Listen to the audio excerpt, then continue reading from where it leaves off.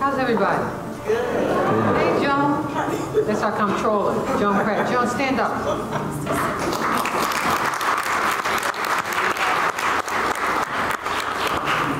How many years now?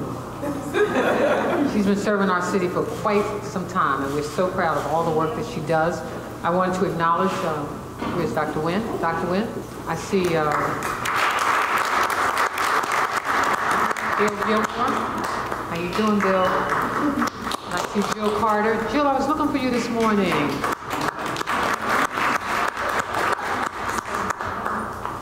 Let me just say first, thank you all for joining us. This is our Healthy Soul Food Cooking Demo. And one of my EP units said, "Ah, that's an oxymoron. I said, that's not true. Um, So, and it's really made possible through the generous donation of, and if you've not been there, please, the Land of Kush Restaurant, give them a big round of applause. Okay, how many people here are ve- vegans? Oops. Only one. Got one? Only one. I've been one. Okay. And I think I eat sort of healthy anyway. Uh, but the Land of Kush is a vegan restaurant serving up a fresh mix of Southern soul style cooking and ethnic foods. That deserves a round of applause. Doesn't that sound good? Now, ladies dressed in blue saying, yes. Good. So to, I'll let them do that one. Today, uh, we're joined by their master chef and owners, Gregory and Naja Wright Brown. Yeah. If you've not been there, it's right behind uh, Maryland General, which is now University of Maryland. It's right there. If you've not been there, I've been there on several occasions and enjoy their cooking, and so we're very excited.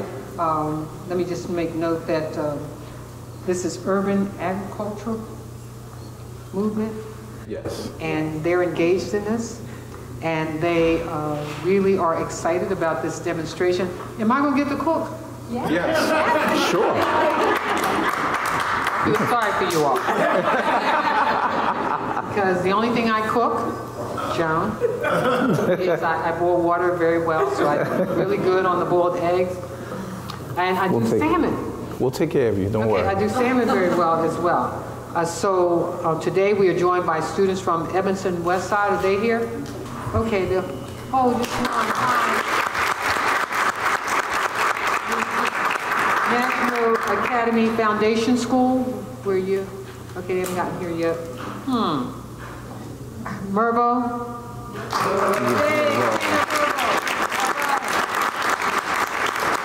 Carver in Forest Park. Where's Carver?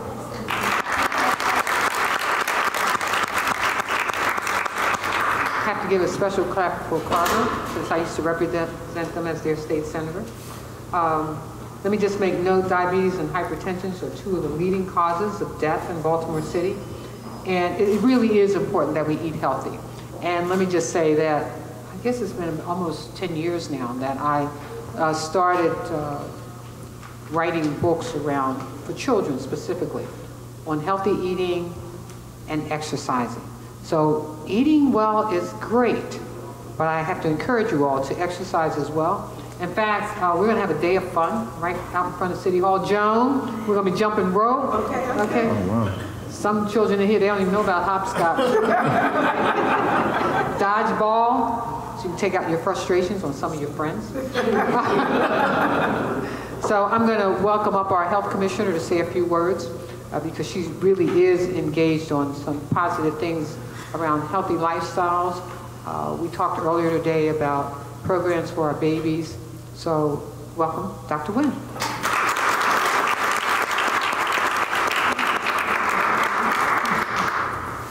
Thank you very much, Madam Mayor. I feel so grateful every day to work for a mayor who cares so deeply about our city, about everyone who lives in our city, and I think who also really practices what she preaches in healthy lifestyles, being kind to everyone, and so I want to thank our mayor for her work.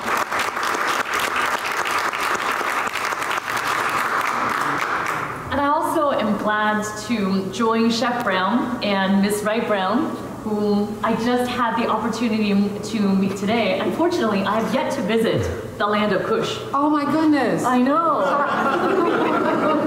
Go ahead, Dr. Gill, I'm sorry. Although I have so much motivation for doing this. So just want to say, you know, I, I had the opportunity to look up some of the of the work that Chef Brown and Ms. Ray Brown have, have done before. And um, there was one interview where I saw Chef Brown say, I was born to eat healthy. Now, I wish I could say that. Well, you look like it. I was saying earlier, I'm Chinese, and I don't know that Chinese food is always the same thing as healthy food. There's a lot of greasy foods and other things in there.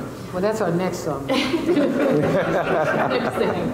But, you know, as our mayor is saying, uh, wa- was saying, there is, we also have to think about the health reasons for all the things that we're doing. It is about preventing heart disease, diabetes, obesity, right? We need to think about being healthy. But sometimes we think about being healthy as the opposite of eating delicious food. Sometimes we feel like we have to make that choice. Remember how Popeye used to be like a bad villain because he ate spinach? I mean, well, he wasn't a villain, but people used to think of spinach as just not a good thing. Exactly. Popeye made it popular because he was a strong man, but go ahead. That's right. We can, we can do this together with Madam Comptroller and Holly, our food, our food policy director. Popeye together. No, but um, I'm really glad to be here to be with these leaders who are changing that paradigm that actually we can make the healthy choice the easy choice. And we can learn, all of us, to cook food that's healthy and delicious. And really, you know, I'm excited to do these things, to learn these things like lentil burgers, Ooh, vegan mac and cheese. I'm excited to see that. Even soy-based barbecue ribs. I mean, that's pretty exciting. I want to see what that's about. So I'm sure all of you want to get on with the food demonstrations, which I'm so thrilled about. But thank you for coming to join us today and for making the healthy choice the easy choice. Thank you.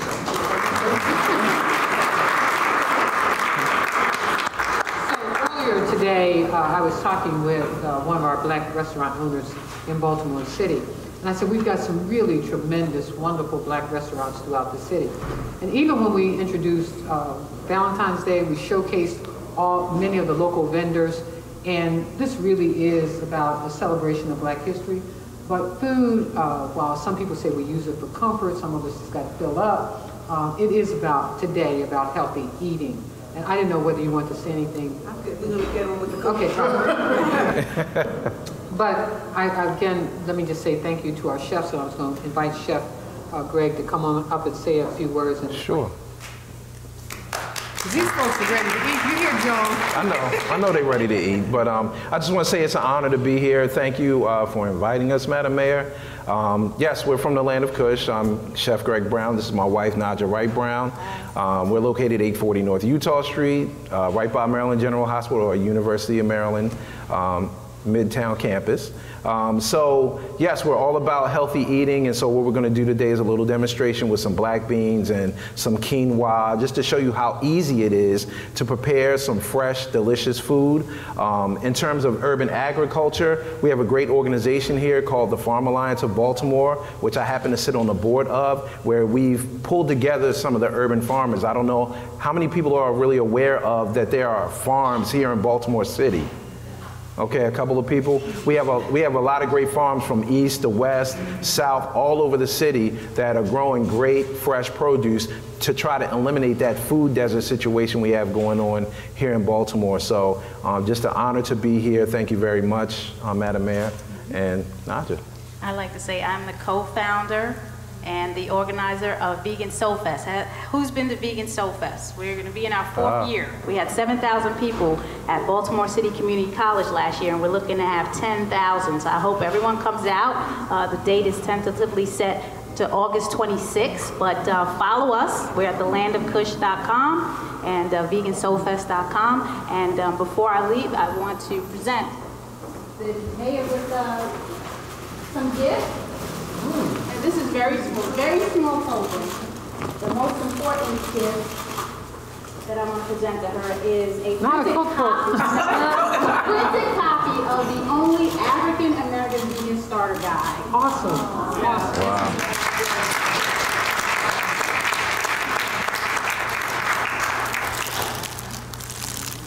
Let me also acknowledge uh, Eric Costello, our councilman. You ready? Our councilman, And your councilman yes, in this district. who's been very supportive. who's been very supportive, like Polly the parrot. Anyway, uh, let me present you with this citation. This is the Oh. certificate of recognition for both of you all. Thank you for being a part of our Black History Month celebration. And so let's get on with it. Let's get it in. Yes, let's get it We're headed to the kitchen. in. Okay, after you. All right, so let's uh, let's get it cracking. Let's turn some things on. So, how many people know about quinoa? Okay, how many people have actually ate or cooked quinoa? Good, that's what's up. Okay, that's beautiful. So I just wanted to let you know how easy it really is to cook this delicious grain from South America because a lot of people are like, you know, cooking healthy is so difficult. You can pour that right in there. Yeah, just pour it all of it in there. Um, just don't be scared of it. Um, and then I need some water in there. I need about three cups of water in there. That would be beautiful. Um, Thank God it's a measure.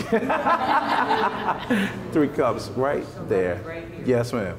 Um, and so uh, we wanted to show everybody how really easy it is to cook healthy. Everybody say, oh, it's so expensive. Oh, it's so much time. Oh, it's so much effort, but it's not. Um, you just need a little bit more. Yep. Um, and so it's not. It's not really that much time. What I've done here is prepared some vegetables here. We have some red onions. We have some red peppers. We have an assortment of vegetables over here that we're going to throw together with it. But we've pre-prepped this because I know most of you are busy, on the go. We got some students in here. I know um, that y'all are on the go all the time. And if you could pour that right in there. Thank you so much. Boom, boom. The sound of cooking. The sound of cooking. Should I stare? Nope, you don't have to do. You don't even have to do that. Like, it's that easy for you. And so we're just going to bring that to a boil. But when I was working nine to five, uh, eight to four, two to eleven, whatever those eight-hour shifts are, twelve to eight, whatever that is. Um, you know, I would always prepare food ahead of time. And so this is one of the things that I would do is take a cup of quinoa or any type of grain and prepare it just like this. Water, throw it in a pot, and just we're gonna we're gonna bring it to a boil real quick. And you're gonna see how quickly that this is, is gonna go. Just, you know, trust it. You got believe in the food. I'm believing. And so while and, and while I'm up here, like don't mind me because sometimes I talk to my food. Um, you know, it's always good to have a relationship with your food. We're not robots up here. You know, just preparing. Um, yeah, she doesn't mind. She doesn't mind. No, this is this this is how we built our relationship though. Like Naja and I built our relationship off of work. We met at Verizon Wireless, and then we uh, extended that to going home and talking in the kitchen. This is what we would do every night when we would come home from work. Is talk in the kitchen. So, oh, go ahead. What you were saying? What will we in uh, breakfast, the brunch that we have on Sunday? Because before I transitioned to veganism, I, I was a breakfast person. So I said, well, how do we veganize pancakes and scrambled eggs and sausage? So, so what's cool about this is Valentine's Day. Wasn't that a sweet Valentine's Day? It's, it, Talking to the food. Talking to the food and then yo so Naja's been just an incredible influence in everything we've done i mean the soul food theme that we do at the restaurant Naja's been just the the influence because if you leave it to me it'll just be sauce and the easiest things to make but she really pushed me and said hey you know you need to try some different stuff so we're gonna throw some things together. So I threw a little olive oil in this pot, and now I'm gonna throw a little garlic. in- Matt, would you like to throw just a little bit of it, not not the whole thing? Um, Oh, not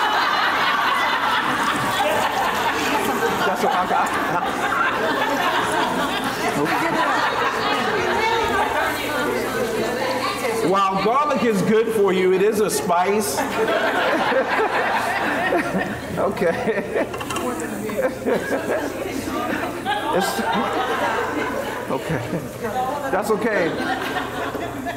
Work with a coach if it's your first time in the kitchen. So we threw a little garlic in here, just a little bit. I'm throwing a little red onion in here. not that whole thing. Not the whole thing, okay? I'm, I'm gonna do this one, okay? let, let her try it again. Okay, let's just, just, just, let me see. Keep going, keep going. I love the sound that it's making. It's making a beautiful sound. Do you smell it? It's just the smells, right? I won't do it here, but when I'm at home, I put my face in the pot and just. Don't do that. No, I won't do that here. Let me see. That's beautiful. Perfect. Can I see that spoon over there? You mind stirring this just a little bit for me, please? Got a little garlic on it. Got a little garlic on it. Oh, look. You're a master. You are a master. Actually, my dad was a chef in the army. Oh, really? Oh, That's why we didn't have to learn how to cook. I thought you would have been in there with them. Like, that's how my five-year-old, every time we start up a stove, my five-year-old's running behind us like, what, what's going on? I want to be involved. I'm going to get my stool, and I'm coming over to help. Mm, Okay, Pia, calm down. Boom.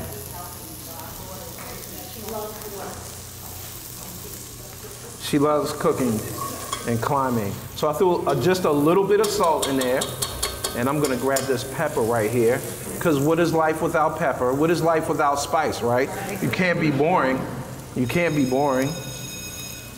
Bang, just a little bit of pepper. And so, like when I cook, I like to season early and late, and throughout, and all day, right? But I like to season throughout the dish. Spoon, let me see. About what he just. And so we're gonna throw a bunch of vegetables in here. Um, so, oh, how about you? We got some spring onion. Throw that in there. I'm gonna turn down this flame a little bit. Not all of it, right? No, not all of it. Not all of it. Say when. Keep going. Keep going. You can't go wrong with vegetables. Vegetables are not pricey. It's okay. Experiment with vegetables. Oh, that's beautiful. That's be- that's perfect. Throw the rest of that in there. We're gonna do all of it this time. I know. I know. I I was nervous though. I was so scared. Um, let's go a little red pepper. Y'all know red pepper, not spicy, but sweet, right? Okay. Got it. Just a little bit of that though. You know. And so also when we cook, uh, you like colors, right? Because that's what the vegetable kingdom is all about, right? Colors, colors, colors. Perfect. We're gonna throw some more green in there. Let's throw a little green pepper in there. Don't say throw, say sprinkle it. Sprinkle it. Sprinkle it. And Naja, can you throw a lid on that quinoa real quick and just turn down the flame? It's come to a boil. Looks so pretty. Oh, look at You know exactly what you're doing. I shouldn't even be up here. Stir that up for me just a little bit. Oh, that is the flavor that you savor. Also, uh, the mayor has been so supportive of our restaurant, not just us coming here, but even since our inception, since we've been open as a restaurant. For six years that we've been open, she's been coming through, just very supportive of us the entire time that we've, we've been in Baltimore. So, um, who's next? Let's go black bean. Let's go black bean. Throw a little black bean in there. Yeah, you can put all of those in there. So what I did was, so in terms of like cooking and preparation, what we did was is we soaked some dry black beans, right? So don't buy from a can. Just go get some dry beans, soak them for eight hours. They triple in size.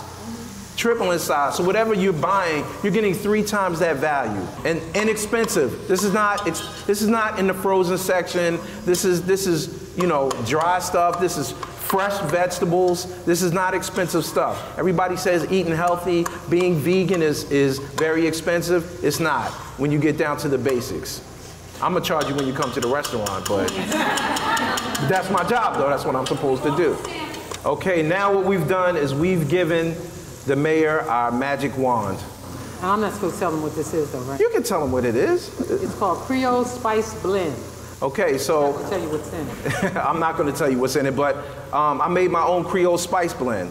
Now, I'm not saying that you go and do that, but this is how you bring flavors out. Use your spices. Oh, we got culinary students in here, right? Use your spices, use your herbs, use the stuff that's around. How So much of this let's see, let's see. Let's throw it in there. It's not that. It's not too spicy. That's good. That's good. Okay. But this is what's going to bring it out. This is what brings the soul into your food is, is the spices that you put into it. And also your own personal energy. You all have personal energy when you're cooking. If you're mad and you're angry, like that's what's going into your food.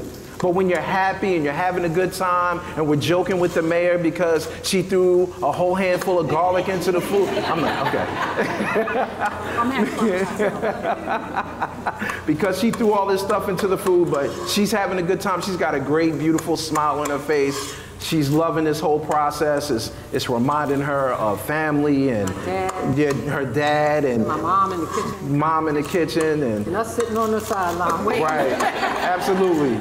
And I got my, I have my mother here, my mother and my stepfather here. Grace, please stand up. These two, amazing, amazing.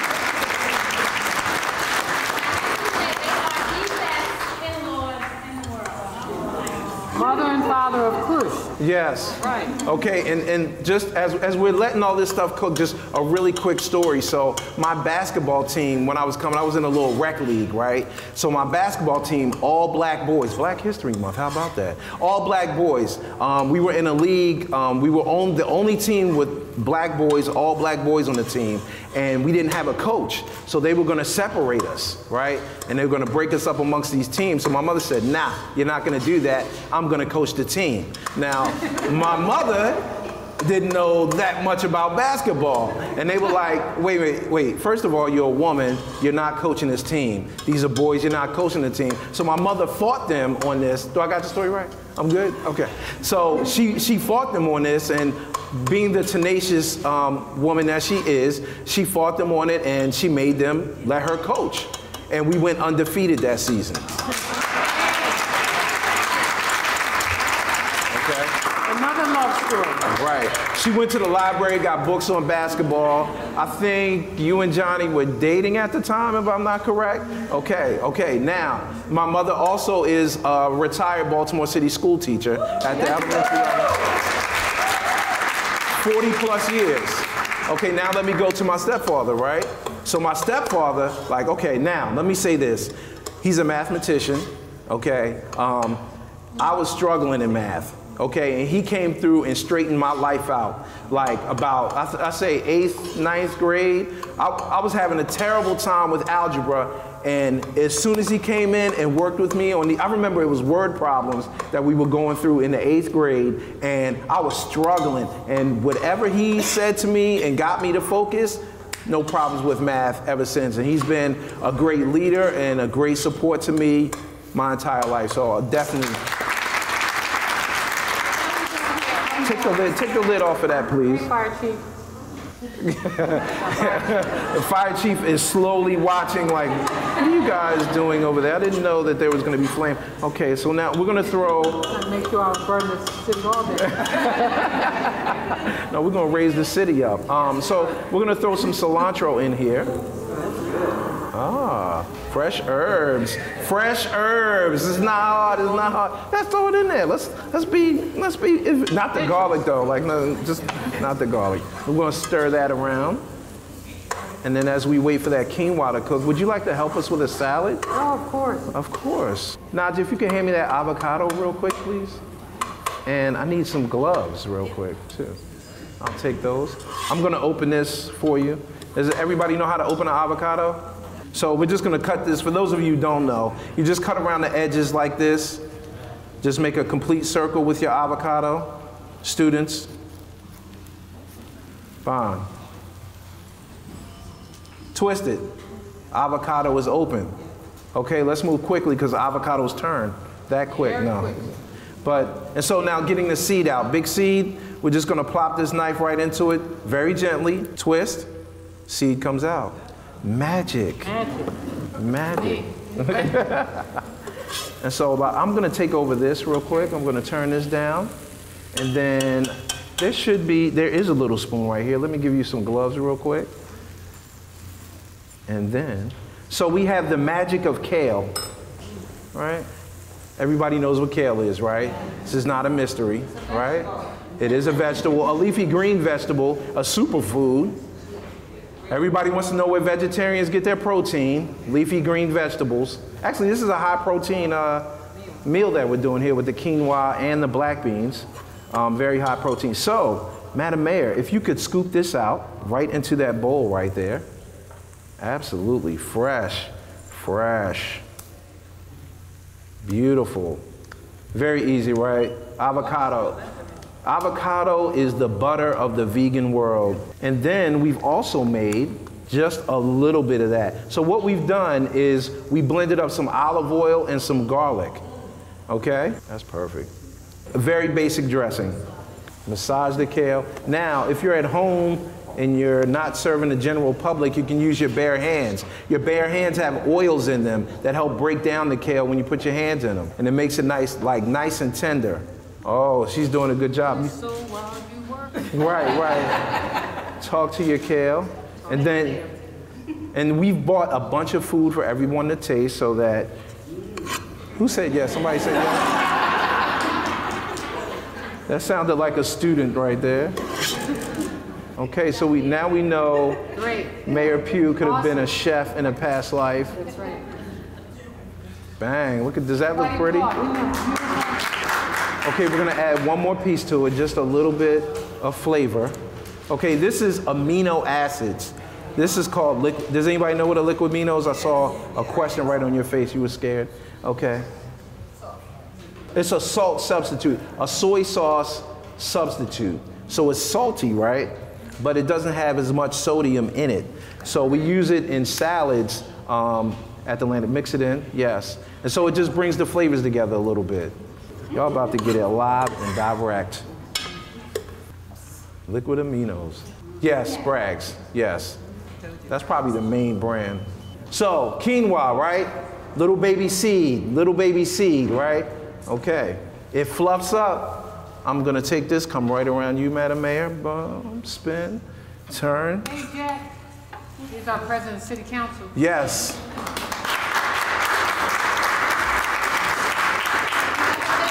Oh, times and we actually donate food, so Jack, we have the opportunity to have our food there. we also have the Honorable Mary Pat, Mary Pat Clarke in the building. Absolutely. Absolutely. And so here's what the quinoa looks like afterwards. Now this, we store, like I store this in the refrigerator for whenever I want to cook it. Just some water and some quinoa stored in the refrigerator. And then you can bring it out and then add whatever you want to it. Just like I threw these vegetables together, boom. Now I'm just going to dump some quinoa in here with it. Real easy, real basic. Quinoa, quinoa is a complete source of protein.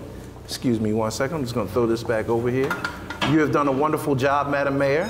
Naja, would you like to get the food for everybody to uh, get ready to eat? Because I, I know y'all don't think I'm gonna feed all of you with this one little pot, right? Is that what y'all were thinking? vegetarian, Jack. This whole front row over here is looking at me like, I don't know how you gonna do that. There's no way. I'm gonna get mine, but. Oh, we, we got you, Councilman. Don't worry. No, don't, don't say no more, brother. I got you. Don't. All right, so finished product. All right, can I show y'all pretty? Yes. If y'all can see pretty, can y'all see pretty? This is that's her. This is the dish's new name is Pretty. Okay? You are beautiful. Look at that. Can y'all see? Can y'all see? Okay? So now the mayor has helped us out with a salad. Now we have a quick salad and we got a small little dish, lots of protein. And we have some samples for everyone to eat. Does anybody have any questions or y'all want to come up and just, y'all want to eat and then ask questions? Yes, ma'am. Can I taste the one that the mayor personally cooked? Absolutely. Oh, Okay. All right. All right. We got real special requests. I cook the black beans ahead of time because obviously that would have taken a long time. We, I soak them overnight for at least eight hours and then I just bring them to a boil. And that's what I do. Like I'll put the quinoa in the refrigerator. Like after it's cooked, I'll put some beans in the refrigerator. And then when I'm ready to bring stuff together, I just bring it out, do a quick stir fry. Yes, ma'am. What's the, what's the, the best way to know if an avocado is right? I have trouble. getting So um, generally, when you can feel it and it'll feel kind of soft, right? If it feels like a rock, it's not right. But it may, if you're not planning to use it right away, you can take it home. It'll soften up. Also, at the top of the avocado, there's usually like a little stem. If you pluck that stem off, it'll it'll be a color. If it's real brown and it's kind of mushy, then that means it's overripe and you don't want to use it. If it's like a greenish color, ready to go. And so, like, it should be kind of tender, right? But not super soft where you feel like you can squeeze it. If it's like a, like I said, if it's like a rock, okay, it's not ready yet. But you can take that home, let it sit, and it'll get nice and soft. Or you can put it in a brown bag, and it'll soften up as well. Yes, ma'am. You say that sauce was the, the, you for soaking? Oh, it's called Bragg's Liquid Aminos. Bragg's is the brand name, Liquid Aminos is the actual product. Absolutely. You can find it in any, you probably find it in any market, but any health food store, they generally have it. And it's a salt substitute. You can use it for cooking. I use it mostly for salads. I like it mostly for salads. And then like I make my own, I make my own blends of things. So feel free to use all your, your, you know, your spices. You got cumin, you got coriander, you got turmeric, you got curry, you got all these spices out there. Use them in your food. They create energy. They give your food like, you know, flavor and soul. What else can I answer for y'all? That's why it's called soul food. That's right. That's right. Because we're not we're not just feeding the physical body. We're feeding our spirit. That's what we do. We're feeding our spirit. We're giving ourselves energy, right? And we want energy to be long lasting. Okay. Oh, the students are serving. Oh, that's what's up. That's right. Put them to work. Put them to work. Okay. Okay. Uh, let me just say again, thank you. Yes, ma'am. Uh, what a wonderful job. Did you all enjoy? My